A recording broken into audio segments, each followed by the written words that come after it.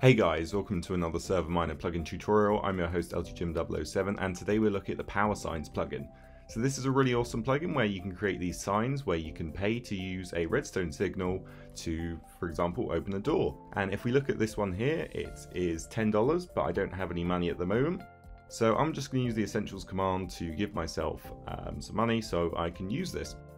And once we have done that, we can right click it and then it will briefly power the redstone and the door will open for a second. You can see in chat that it will tell the person who owns the sign that we actually used it, which is obviously myself. And you should note that the block below the sign will turn into a redstone block in order to power it. So we've got another one here which just creates a firework. As you can see this one costs $50 and on the third line you can write a description, whatever you want. So I've just written firework on there. So those are a couple of examples that um, I've created. If we do forward slash ps help, that's going to show us the help command. And what it's going to do is just give loads of helpful information when you hover over each of these different sections, just telling you how to do various things if you get confused, which is really awesome. So that is what you do if you need more help. But let's go ahead and create one of our own. So I've got some TNT over here, and what we're going to do is set up a redstone trail. And then we're going to want to make sure we put a block below the sign so it actually powers it. And then on the sign we put signal in square brackets. On the second line it's going to be our name. On the third line is a description, whatever you want. And the fourth line is going to be the cost. So it's going to cost $100. If we right click, the gold block turns to a redstone block briefly, sets off the redstone signal and kaboom, we have all of our TNT going off.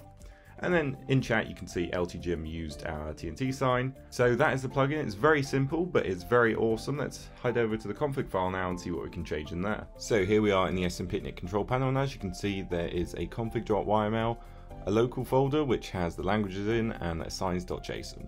So if we go into the config.yml, there's not much in here, but there's a few things we can change.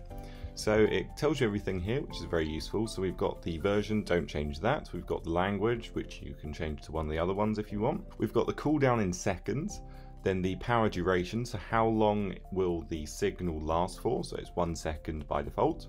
Then the confirmation. So if the price of the sign is above 5,000, for example, it will ask you to confirm that you actually want to buy it and it wasn't an accident. So you can change this value to whatever you want and you can obviously set this to true or false.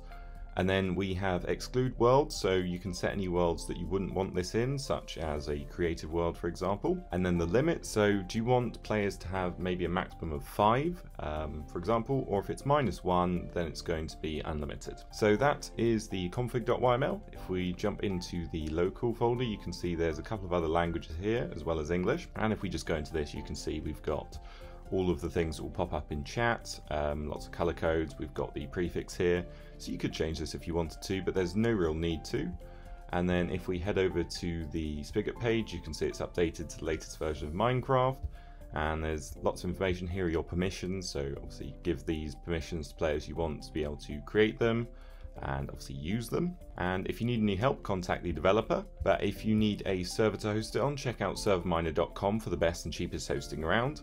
But that's it for me. Subscribe, like, comment, and I'll see you next time.